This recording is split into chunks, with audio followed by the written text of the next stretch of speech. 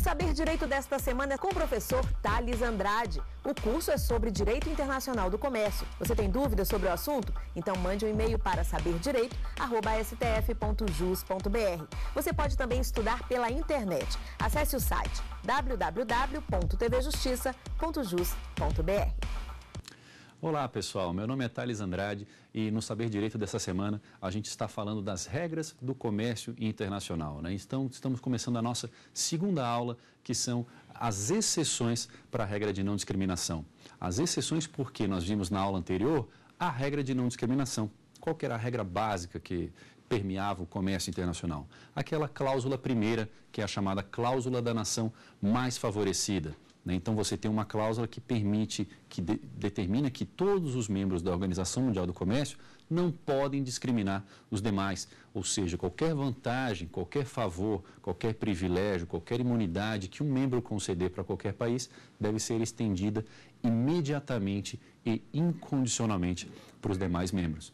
Então, na aula de hoje, a gente vai ver quais são as exceções a essa regra. Né? O sistema, ele também tem algumas válvulas de escape?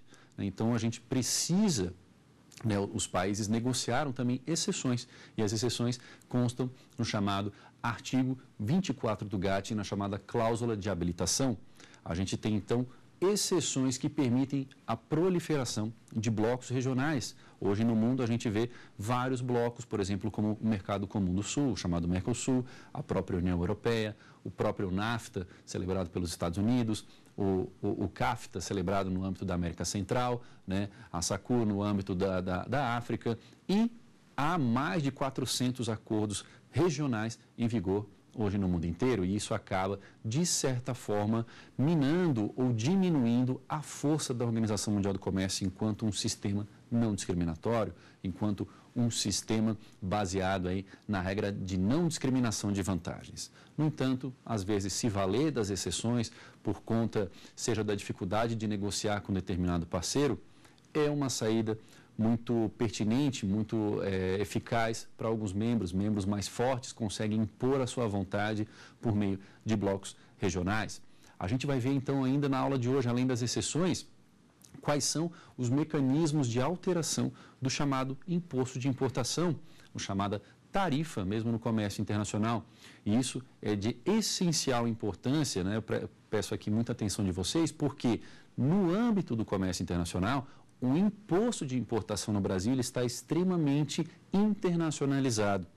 Internacionalizado em que sentido? Ora, há uma série de decisões, seja da OMC, seja no âmbito do Mercosul, de fontes jurídicas internacionais, que acabam modificando toda essa sistemática. Uma sistemática que a lei doméstica não consegue acompanhar.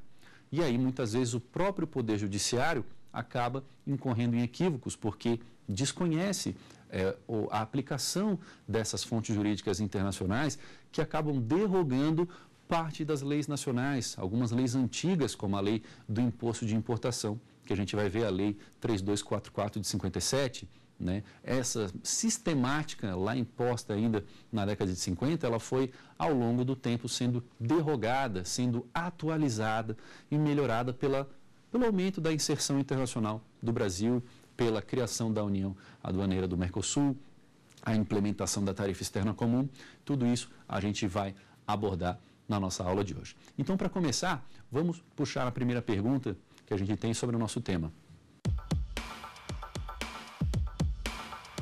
Porque há uma proliferação de blocos comerciais. Essa pergunta é extremamente atual até ainda nos dias de hoje, né? Por que, que temos uma proliferação de blocos comerciais? Ora, se eu acabei de mencionar aqui na aula anterior que a regra de não discriminação por que, que os países vão negociando blocos comerciais regionais, em âmbitos bilaterais, às vezes, né? Isso é decorrência de uma série de fatores. O mais importante, talvez o primordial, seja a estagnação da chamada rodada de Doha. Né? O que é a rodada de Doha? Rodada de Doha é a quarta conferência ministerial da era da OMC. A conferência ministerial é um encontro de cúpula dos membros da OMC a cada dois anos, em regra, eles devem se reunir para discutir uma próxima agenda no âmbito da liberalização do comércio internacional. E isso ocorreu em 2001. a gente lembra em 2001 qual foi o evento que fez os estados se sensibilizarem aí para tentar modificar alguma coisa no âmbito internacional. Nós tivemos o atentado de 11 de setembro. E aí, a Conferência Ministerial de Doha lançou uma agenda de desenvolvimento, uma ampla rodada de liberalização comercial. Veja que era o ano de 2001, estamos no ano de 2015. Né? Ainda hoje não tivemos um, sequer um desfecho dessa rodada, estamos muito longe disso acontecer. Claro, o cenário foi se modificando ao longo desses anos. Né? Aquela vontade política que os Estados Unidos tinha, a própria União Europeia tinha em concluir a rodada, foi se dissipando à medida que foi se perdendo, porque tinham que fazer concessões que eles não estavam dispostos a fazer, foram negociando acordos regionais. Por exemplo, que tipo de concessão? Ora, subsídios agrícolas. Subsídios agrícolas é a principal bandeira que o Brasil quer derrubar. O Brasil quer que a agricultura não tenha qualquer subsídio. A gente vai explorar o que é um subsídio na aula de defesa comercial, nosso quinto encontro. O que é um subsídio, basicamente, rapidamente? É, são ajudas governamentais para promover, dar mais competitividade para determinado bem, por exemplo, uma renúncia fiscal, uma ajuda em caixa, uma ajuda financeira, né? qualquer contribuição financeira que o Estado dá, isso distorce o preço, o preço da mercadoria no âmbito do livre comércio. Imagina que para concorrer no mercado internacional, um agricultor só consiga praticar aquele preço se ele tiver um apoio do Estado, um auxílio de caixa, um auxílio financeiro. E isso é um subsídio. O Brasil por sua vez, é um país que tem uma das agriculturas mais mecanizadas do mundo, concede pouquíssimo subsídio né, e tem um preço excelente, é extremamente competitivo no mercado internacional. Só que, no entanto, ele não consegue entrar em determinados mercados porque ainda tem subsídios muito fortes, como Estados Unidos e União Europeia. E aí, por não conseguir superar esse entrave da questão dos subsídios agrícolas, principalmente, a rodada de Doha, que precisa de um consenso dos 160 membros, não consegue sair do papel. E aí o que, que acontece? Olha que interessante. Os países vão negociando blocos comerciais. Vai havendo uma proliferação. Vamos resgatar, por exemplo, a ALCA, a Área de Livre Comércio das Américas. Né? O que, que foi a ALCA? A ALCA justamente visava estabelecer o livre comércio entre os 32 países da América, desde os Estados Unidos, né, desde lá de cima do, do próprio Canadá, até a Terra do Fogo, até lá, lá embaixo, Chile, Patagônia, Argentina. Todos esses países teriam liberalização tarifária para o comércio de mercadorias entre si. Só que o próprio Brasil fez uma, teve uma resistência muito grande, porque Estados Unidos, nas negociações, impunha um ritmo muito duro, colocava algumas exigências que o Brasil não estava disposto a fazer, como, por exemplo, questões trabalhistas, o Brasil não estava disposto a ceder em alguns pontos, questão de propriedade intelectual, os Estados Unidos queria um enrijecimento das regras de propriedade intelectual, de proteção de patentes, de marcas, de alguns direitos da propriedade intelectual e o Brasil não estava disposto. E aí, esse racha, principalmente entre Estados Unidos e Brasil, leva ao desmantelamento da ideia da ALCA e ela suspende as negociações em 2005. Mas aí o que, que os Estados Unidos faz? Ele começa a negociar bilateralmente. Ele negocia com Peru, com Colômbia, com Chile, com América Central, o projeto que ele tinha para a ALCA. Vejam só que ele vai criando acordos regionais. Hoje está em discussão, por exemplo, parcerias gigantescas, os mega blocos, os mega acordos regionais, onde os Estados Unidos, por exemplo, testa novas regras nesses acordos. Quem sabe no futuro elas entrem no próprio arcabouço jurídico do OMC. Por exemplo, questões ambientais, né? questões de direito da concorrência, questões de investimento. Estados Unidos negocia uma parceria gigantesca, um acordo regional com a própria União Europeia, né? a parceria transatlântica para investimentos né? e comércio internacional, ou a parceria do Pacífico, com mais 13 países, Estados Unidos negocia também um leque de acordos eh, de regras comerciais que vão muito além do standard do OMC, que vão, a gente chama de OMC Plus, né? você tem obrigações adicionais que não constam no sistema multilateral de comércio. Então, a dificuldade de consenso entre todos esses membros faz, fomenta ainda mais a proliferação de blocos, blocos regionais e os países tentam impor pela via bilateral a sua vontade. Ora, se o Brasil me oferece resistência, vou bilateralmente, sem o Brasil, impor as minhas regras. Vou desenhar qual é o novo padrão, o novo estándar de regras de comércio internacional que, no futuro, deve ser incorporado à própria OMC. E o Brasil não pode ficar de fora dessa iniciativa. Esse é um aspecto perigoso, porque a inércia do Brasil nesse ponto, quem não participa das regras do jogo, né, pessoal, não pode apitar nelas ao final. O Brasil precisa entrar na dança. Né? Ele precisa convidar os parceiros comerciais para dançar. Né? Eu costumo dizer, não adianta, não, não basta simplesmente ser convidado para dançar. Ele precisa convidar os demais para participarem e negociar algumas regras. É melhor estar dentro desse jogo, participando das negociações, e ainda que a gente tenha que ceder alguma coisa, ou é melhor ficar de fora olhando e, no futuro próximo, nos ver isolados desse leque de acordos, né? É importante ressaltar que o Brasil teve pouquíssimas iniciativas de acordos regionais bilaterais.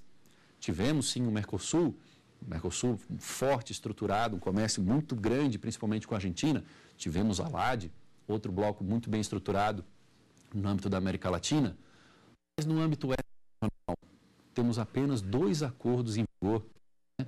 Mercosul-Israel, Mercosul-Índia, né? acordos pequenos, um acordo com a Índia, principalmente um acordo minúsculo, cobre muitos poucos produtos.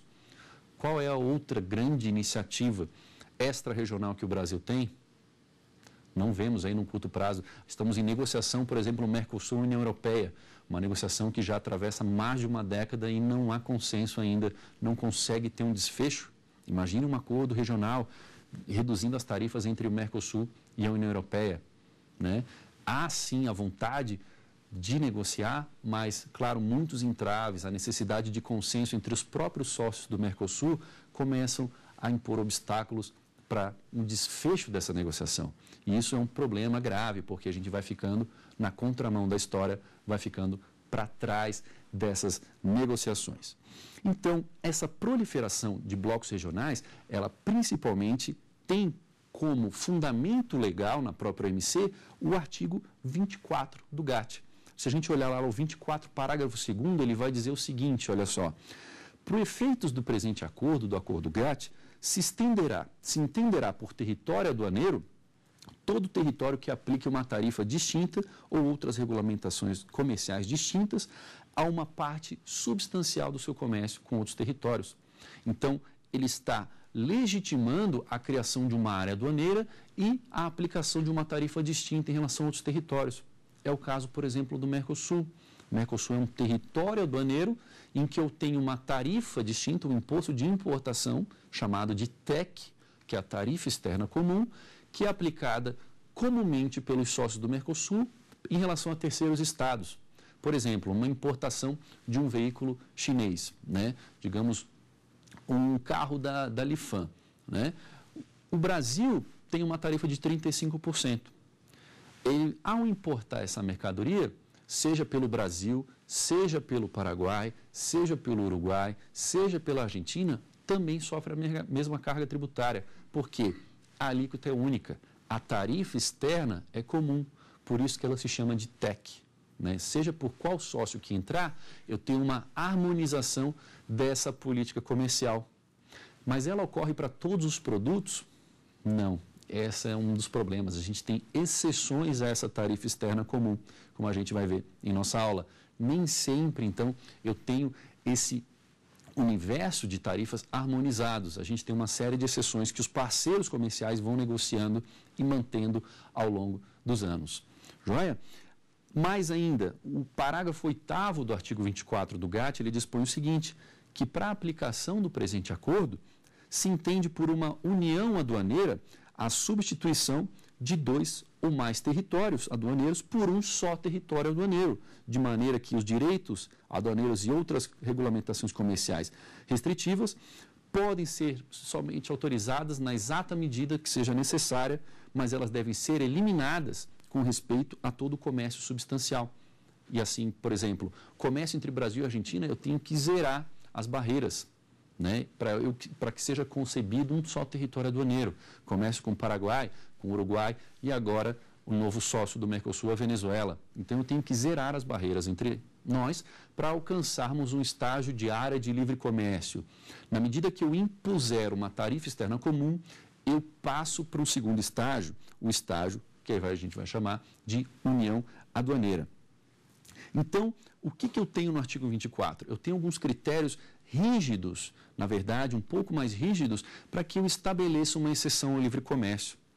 Brasil, digamos que Brasil, Paraguai, Uruguai e Argentina querem discriminar no âmbito da nação mais favorecida. Isso é autorizado perante o OMC pelo artigo 24.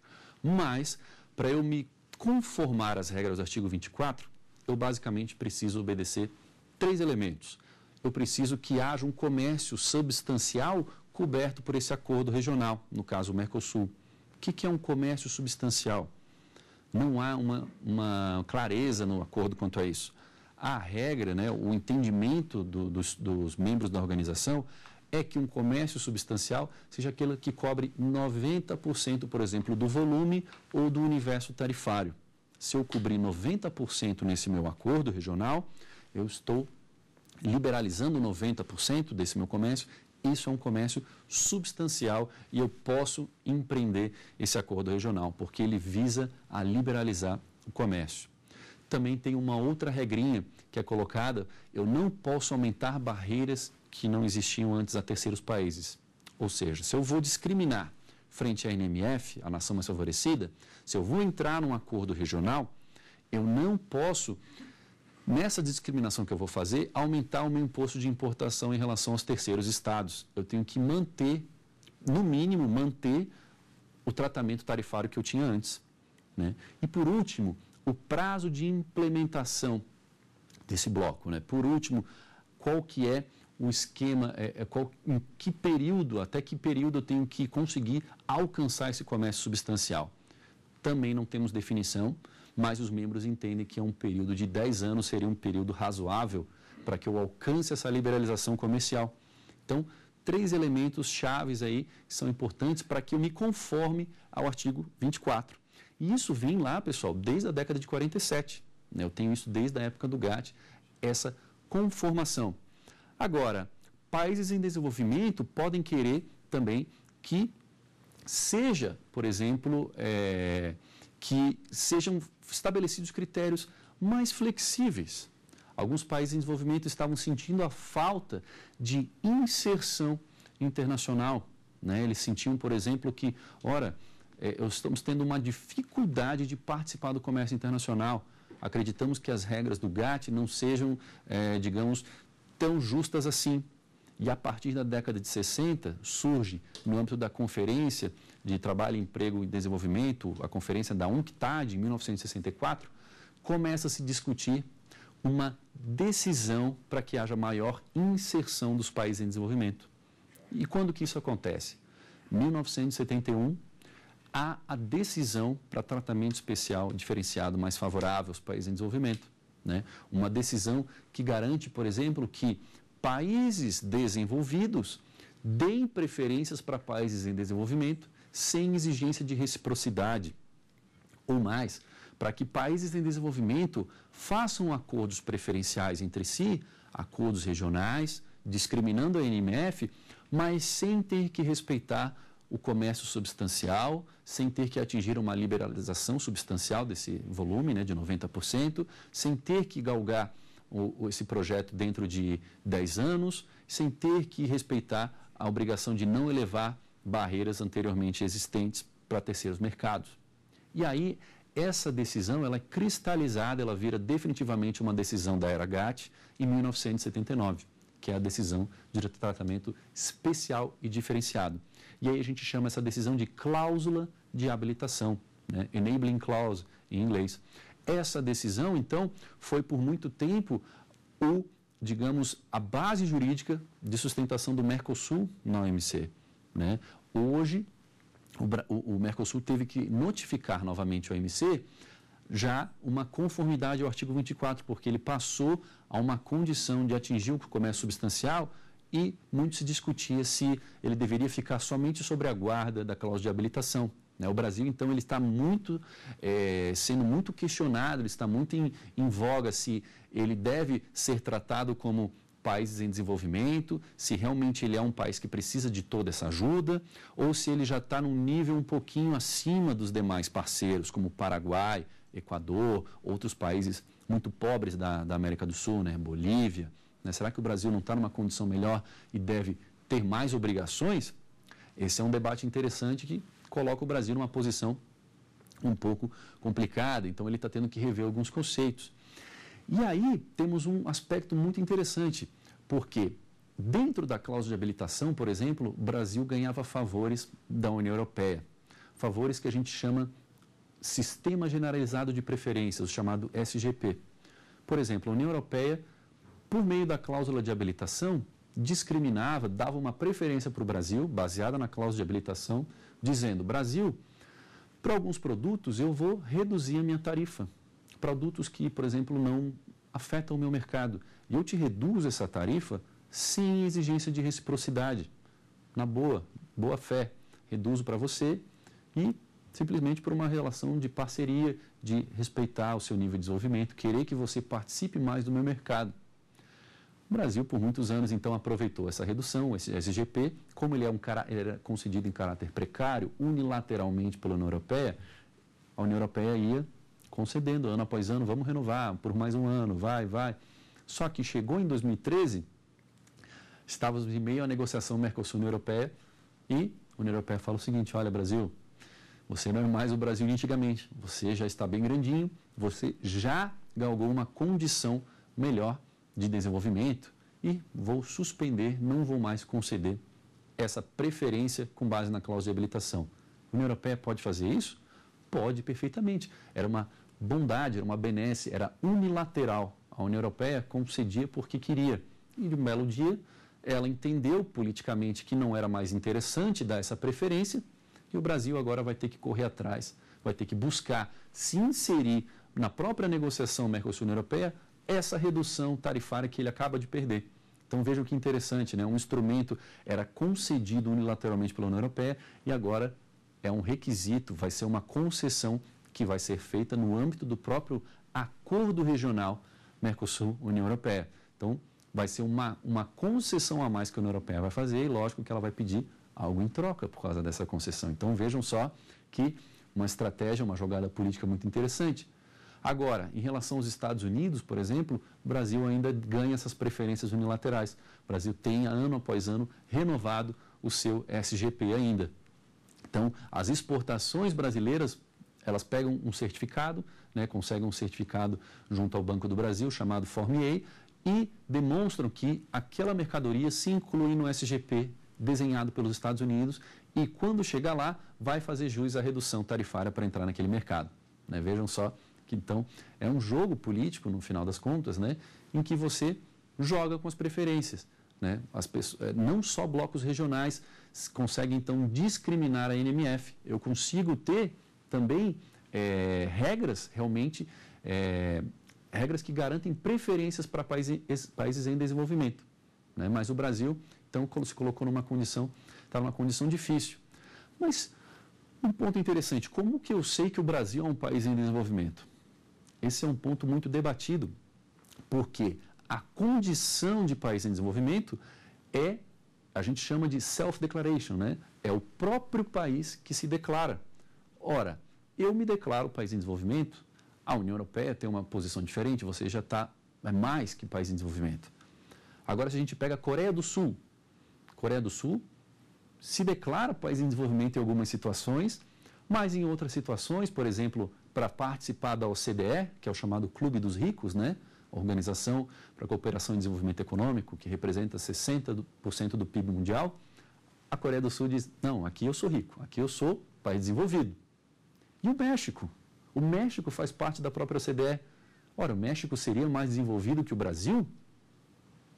É difícil dizer, né? Mas o México, por opção política, por estratégia política, vai lá e diz: eu quero fazer parte do clube dos ricos, eu prefiro estar com os ricos.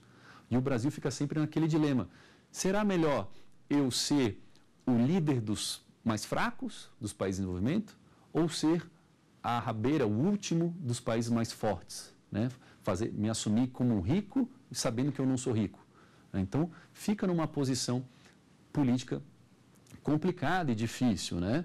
O Brasil, em algum momento, ele vai estar justamente nesse estágio de transição. E isso tem uma série de implicações. No momento que ele disser que quer fazer parte, por exemplo, da OCDE, Estados Unidos não vai mais dar, mais dar essa preferência do SGP. Ora, a preferência é para país em desenvolvimento, você quer fazer parte do clube dos ricos.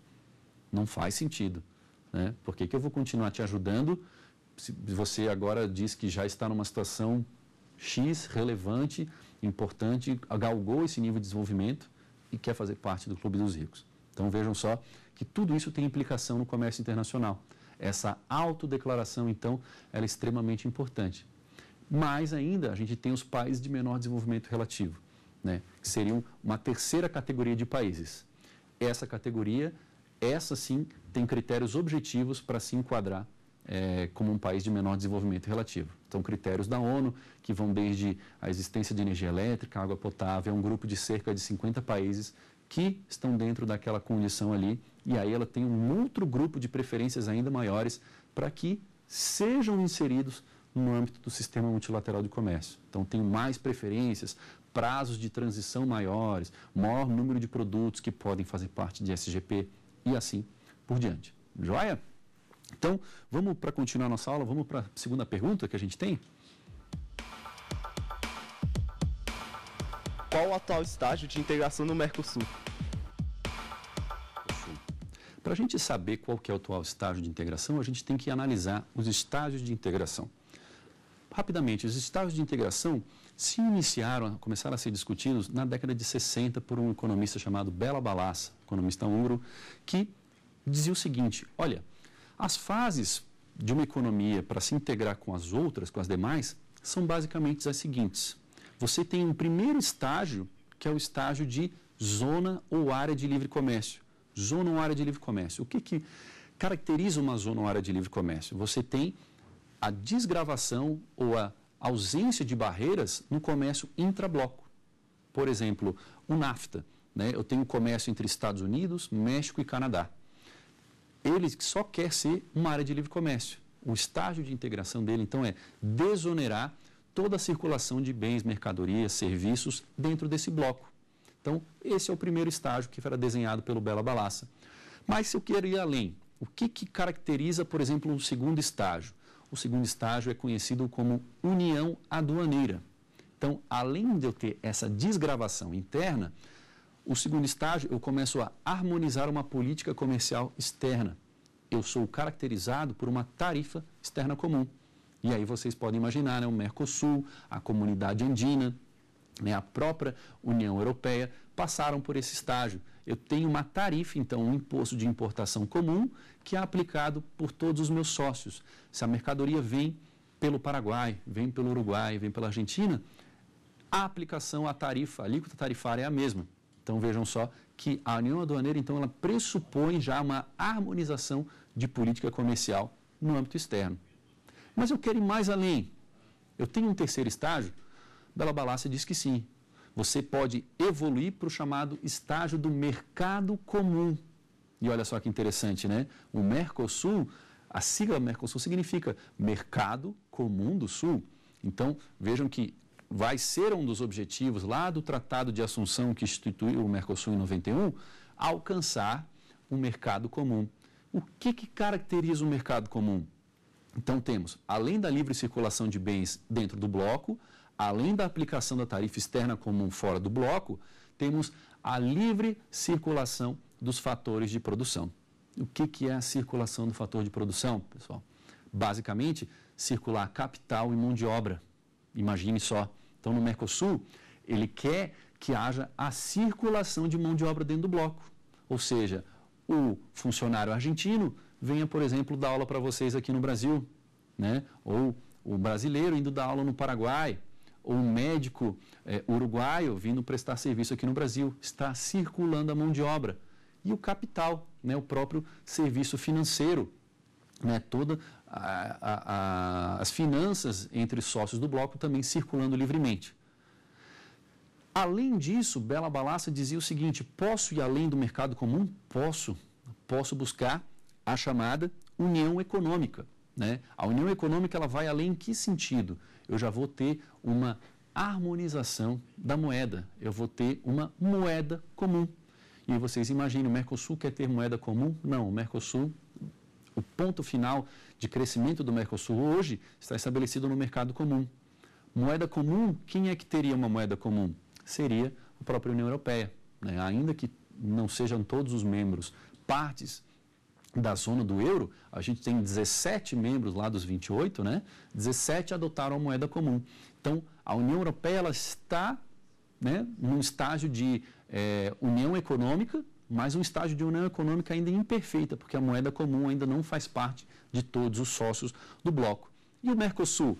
O Mercosul passou pelo estágio de área de livre comércio, mas tem algumas exceções. Ele tem uma exceção, por exemplo, para automóveis, ainda não há amplo e livre comércio, e é uma exceção para mercadorias como açúcar. Né? É, são exceções muito pontuais, pequenas. E o Mercosul conseguiu evoluir para o estágio de união aduaneira. Mas a união aduaneira também ela é perfeitamente consolidada? Não, a união aduaneira também apresenta um problema. A união aduaneira ela ainda tem, é, ela ainda está atrelada a uma série de exceções. Então vejam que eu não consegui ainda desenvolver a União Aduaneira e a gente costuma dizer, então, para responder a pergunta, que o Mercosul está dentro dos estágios de integração, num estágio de União Aduaneira imperfeita. Eu tenho, então, uma dificuldade ainda de acabar com as perfurações à tarifa externa comum. Eu tenho perfurações à TEC, exceções à tarifa externa comum. Ainda me impedem de galgar esse pleno estágio de União Aduaneira e quiçá, né, talvez, chegar ao mercado comum. Aí vocês imaginem, né? O Mercosul, quando foi implantado em 91, colocava no Tratado de Assunção. Em quatro anos, em 1994, menos, né, três anos, quer alcançar o estágio de mercado comum. Vou passar de área de livre comércio, União Aduaneira, mercado comum. Dificílimo, né? Um projeto, uma ideia ambiciosa aí que o Mercosul está muito longe de alcançar ainda. Esse terceiro estágio é muito longe. Né? Agora, se pensarmos a LAD, né, Associação Latino-Americana de Direito da Integração, que envolve os países da América Latina, como México também, Cuba, basicamente a LAD também quer ser um mercado comum, mas ela está num estágio muito inferior ao Mercosul. Na verdade, ela está num estágio até anterior ao primeiro estágio, né, desenhado por Bela Balassa. Bela Balassa falava que integração começa só com área de livre comércio, mas a ALAD nem sequer conseguiu livre comércio entre os sócios da ALAD. São 12 sócios. A gente tem o que? Preferências, tão somente preferências econômicas. Né? Por exemplo, um acordo, é, vamos pegar um acordo Mercosul-México, acordo automotivo. Né? A gente tem um acordo para importação de carros com o México. Ora, esse acordo ele é pontual, ele é uma preferência só para o capítulo 87, só para veículos né, que a gente importa do México e o México importa da gente. Ele não tem o comércio substancial, ele é extremamente pontual e envolve um universo muito pequeno de produtos ainda. Então vejam que eu tenho uma redução muito grande, uma limitação muito grande ainda na LAD, porque as divergências são enormes entre os sócios, cada um quer uma coisa. Né? É difícil a gente comparar esse projeto da LAD com o próprio projeto da União Europeia. Né? A LAD, pessoal, se a gente voltar no tempo, a LAD foi instituída em 1980 pelo Tratado de Montevidéu, mas em 1960 ela teve sua antecessora, a ALAUC, né, a Associação Latino-Americana de Livre Comércio, que queria a qualquer custo, por um projeto narcisista, ser igual à União Europeia. E aí vocês já têm a resposta, né? Será? Consigo fazer igual à União Europeia? Será que a gente tem uma, uma homogeneidade é, entre os países capaz de fazer um laço cultural tão forte como é a União Europeia, a União Europeia até hoje está sofrendo problemas também né, de migração. Será que ela se expande? Será que ela fechou a porta para novos membros? A Turquia, né, novos países que querem aderir à União Europeia? Né? É difícil a gente dizer. A União Europeia está enfrentando problema de migração. A própria Suíça não faz parte da União Europeia. Ela está lá no meio encravada, mas ela tem uma política toda distinta. Ela tem a sua autonomia plena, assegurada e garantida. Ela negocia sozinha. Ela está no meio, ela tem acordo de circulação né, de, de pessoas do espaço Schengen, mas ela faz uma política comercial distinta. Ela tem moeda própria, né, o franco suíço, ela não adota moeda única, tem suas tarifas em relação ao comércio com a própria União Europeia. Vejam que a resposta não é simples, né? não é, basta querer vender um projeto político como tal, querer ser igual à União Europeia, se a gente não tem os fundamentos sólidos para chegar a tanto. E isso se reflete nas regras de comércio internacional. As exceções tarifárias são inúmeras para a gente chegar nesse projeto. Tá? Joia? Então, continuando aqui, como que eu confiro né, nesse estágio de integração, como que eu digo que essa mercadoria é do Mercosul e ela pode circular entre os sócios? Para cada acordo regional desses, eu tenho a chamada regra de origem desse acordo. No caso do Mercosul, eu tenho a, a regra de origem do Mercosul. Né? A regra de origem do Mercosul. E qual que é a regra de origem do Mercosul? O Mercosul estabelece, por exemplo, que para eu reconhecer uma mercadoria como originária do bloco, ou ela foi totalmente encontrada e colhida nesse bloco, ou ela agregou 60% de valor nesse bloco. Certo? O que é agregar 60%? Eu posso, por exemplo, ter. É, vamos pegar um exemplo de um veículo. Digamos que as montadoras brasileiras importem partes e peças. Elas importem 40 mil dólares de partes e peças. São peças estrangeiras que foram nacionalizadas. Eu posso vender essas partes e peças para a Argentina e ganhar a redução tarifária? Não, eu preciso cumprir a regra do bloco. Não basta ter importado definitivamente no Brasil. Elas ainda serão mercadorias não originárias, elas precisam ter a atribuição de origem. E como é que eu reconheço? Transformando a mercadoria, dando uma transformação substancial. E essa transformação substancial a gente faz por meio do quê? De uma agregação de valor ou chamado salto de posição tarifária. Eu comprei 40 mil dólares de peças.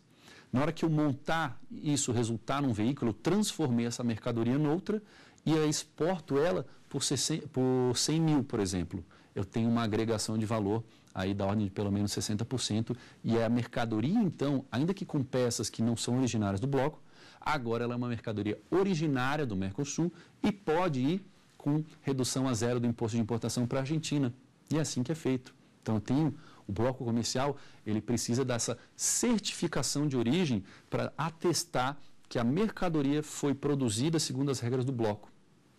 Mas tem ocasiões que eu posso, inclusive, comprovar a origem pela mudança da minha posição tarifária. Ora, de que forma? Digamos, por exemplo, que eu importe cabedal de calçados, né? a parte superior do calçado, cabedal e solado, que é a parte de cima e de baixo.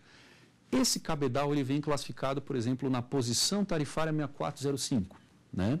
Ele tem uma posição específica naquele universo que a gente falou do sistema harmonizado, calçados, cabedais de calçados, partes e peças de calçado.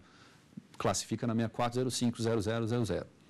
Quando eu pego esse cabedal, esse solado, colo ele, transformo, boto o cadastro, boto a etiqueta, ele se reclassifica, ele vira uma outra mercadoria, ele sofre uma transformação substancial. E aí ele passa a ser classificado, por exemplo, na 6404, é, por exemplo. Né? Na 6404, ele, saltando de número, saltando de posição, mudando um dos primeiros quatro dígitos, então, dessa classificação, ele confere a origem, ele consegue ter atribuição de origem Mercosul e também gozar das reduções tarifárias negociadas pelo bloco. Legal, né? Então, dois critérios para atribuição de origem. É a agregação de valor, no Mercosul até 60%. Paraguai, por uma questão de ser um país menos desenvolvido que os demais, precisa agregar só 40%, tá? Um detalhe importante.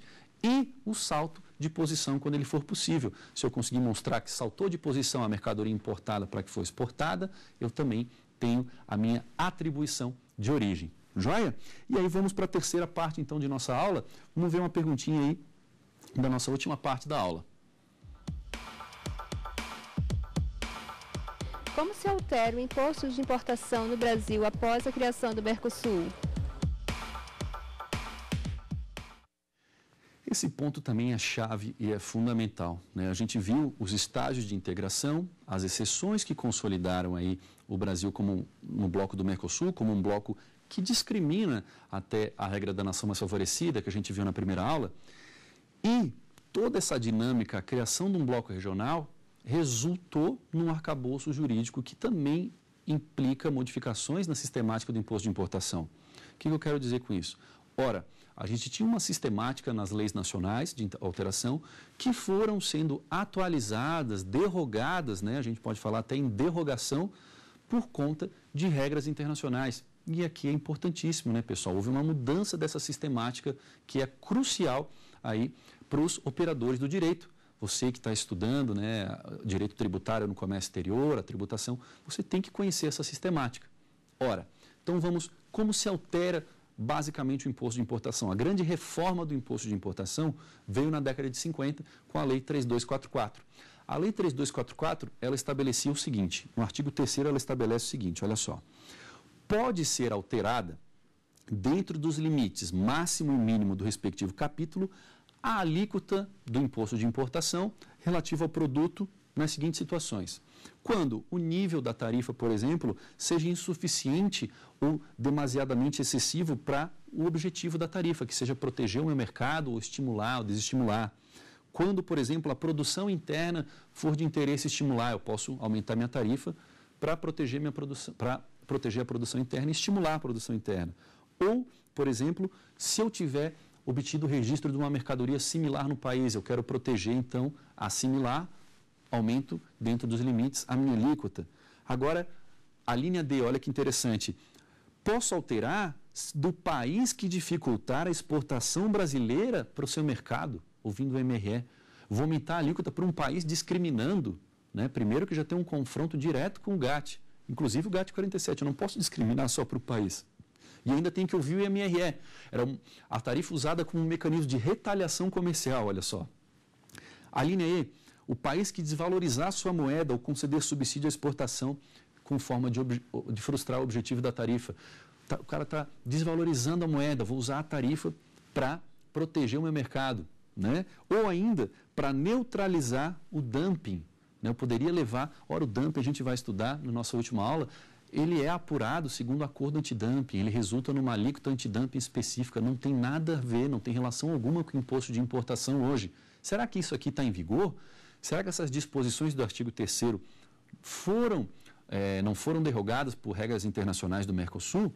Olha só, por exemplo, o que diz a decisão do Conselho do Mercado Comum 58 de 2010. Ela altera em parte essa sistemática. Ela diz, por exemplo, que cada sócio do Mercosul pode fugir da tarifa externa comum né, em até um limite de NCMs, um limite de produtos. No caso do Brasil, eu posso até 100 produtos estabelecer um, um imposto de importação diferente do que foi negociado no Mercosul. Por exemplo, eu quero colocar é, cápsulas de café processado. Eu quero retirar da tarifa externa comum, eu quero estimular a importação dessas cápsulas, né? Cápsulas de marcas de é, Nestlé, Nespresso, entre outras, que fabricam esse tipo de café hoje muito comum vendido no Brasil. Tem produção nacional, então, a regra do Mercosul está dizendo, você pode, Brasil, até 100 produtos, até 100 NCMs, reduzir ou aumentar até o seu limite consolidado no MC, né, a alíquota desse produto. E mais ainda, eu posso, por exemplo, por questão de desabastecimento, resolução do Grupo Mercado Comum, GMC 08 de 2008, fala o seguinte, Mercosul, quando vocês sócios estiverem enfrentando uma questão de sazonalidade, né, de desabastecimento de uma mercadoria, por exemplo, vocês precisam, é, estamos enfrentando uma quebra de produção no trigo nacional. Você pode reduzir a alíquota por motivo de desabastecimento, para suprir a demanda daquele mercado interno. Então vejo que é uma decisão, né, uma resolução da uma fonte jurídica do Mercosul que está derrogando o que dizia o artigo 3 da Lei 3244/57, ou mais ainda, temos a resolução da CAMEX 66 de 2014, que cuida do ex-tarifário. Esse é um mecanismo muito interessante. O ex-tarifário é o seguinte: é uma exceção à tarifa aplicada.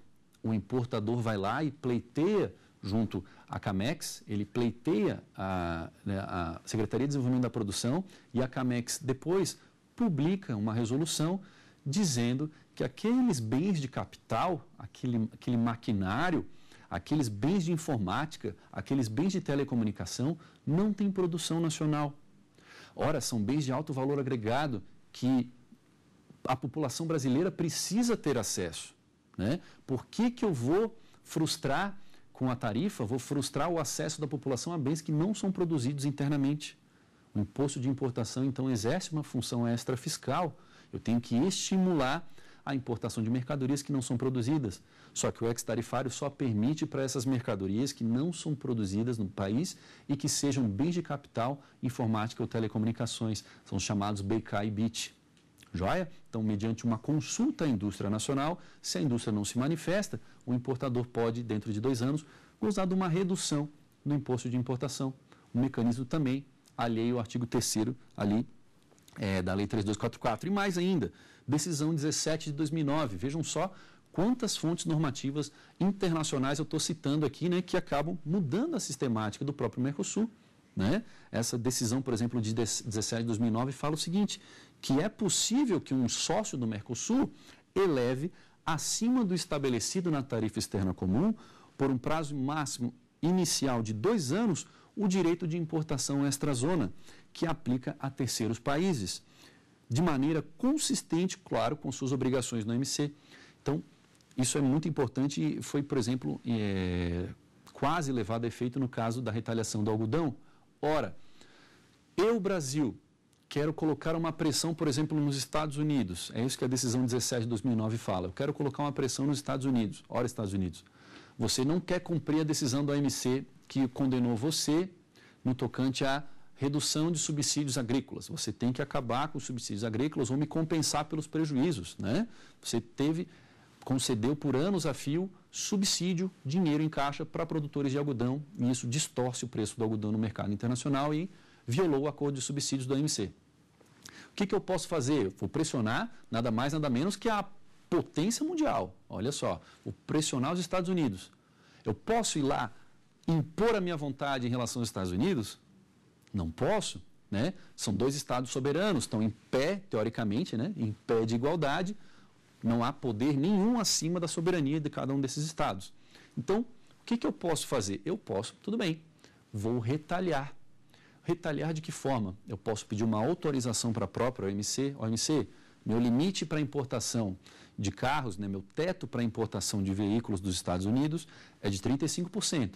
A gente viu na aula 1 que é a minha tarifa consolidada, né? Artigo 2 do GATT. Está lá na minha lista anexa, 35%, capítulo 8703-2410, por exemplo. Vou pedir uma autorização para aumentar até 100%. 100%.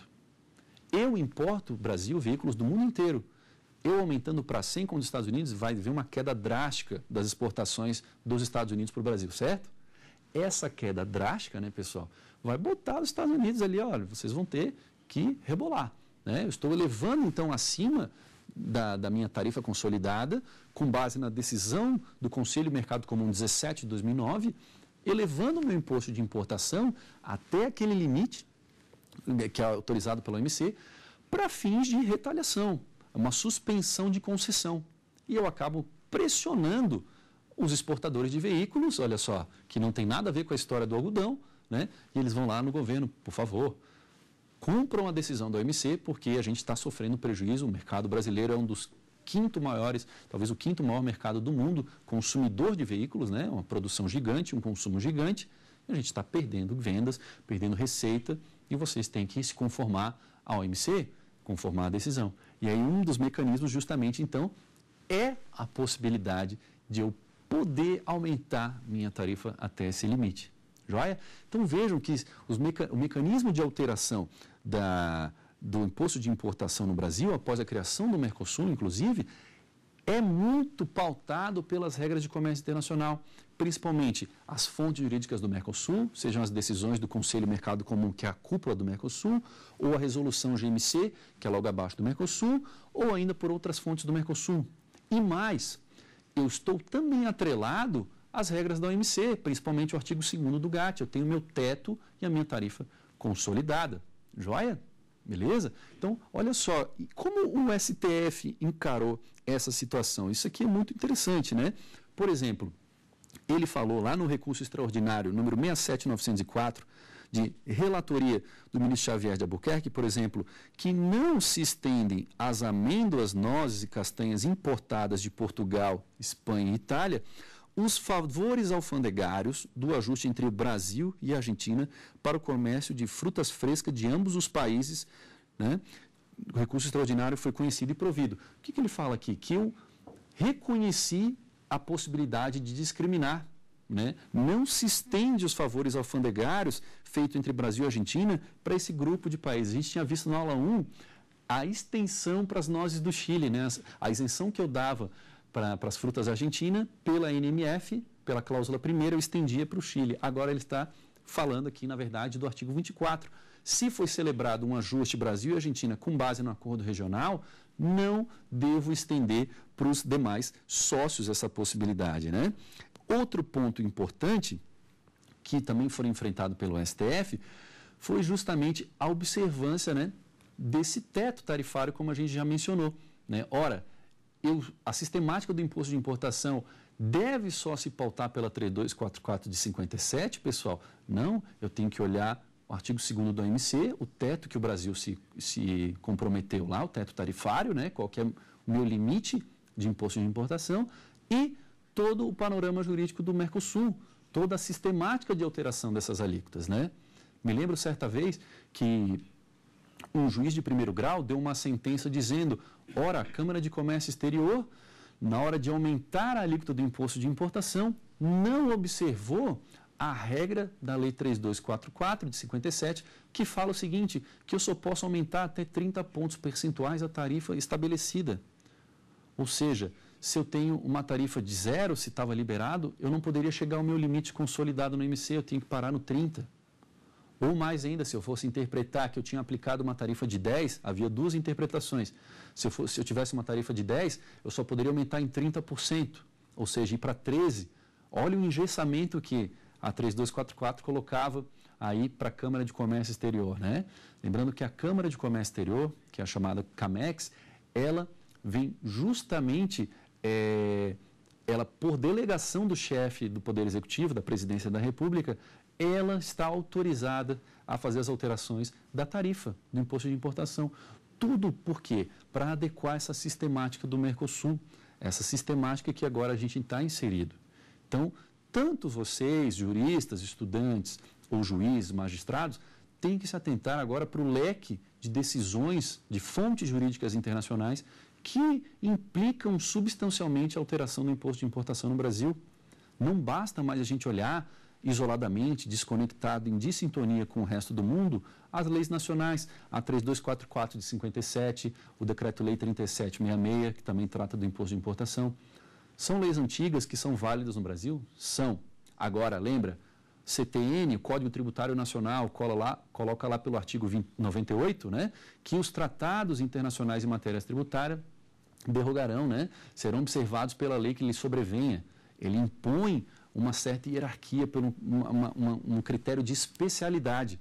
Quando tiver uma, um tratado internacional dispondo sobre direito tributário, ele deve prevalecer no conflito com uma matéria, com uma lei, por exemplo, que não, é, que não seja especial, não seja específica. Ele dá uma estatura muito forte para os acordos internacionais, principalmente o acordo GATT, que cuida de matéria tributária, e a parte do Tratado de Assunção, também que veicula temas tributários. Joia? Então, esses são os temas que a gente abordou na aula de hoje. A gente basicamente tratou das exceções da nação mais favorecida. Falamos do artigo 24, né, os parágrafos 2 e 8, vimos a cláusula de habilitação para países em desenvolvimento também, vimos os estágios de integração propostos por Bela Balassa, vimos acordos regionais e a regra de origem, né, no caso do Mercosul, como é que eu identifico ou atribuo a origem para essa mercadoria circular nesse bloco. Né? Por último, as situações de alteração da tarifa externa comum, colocadas pela fonte normativa e as fontes do Mercosul.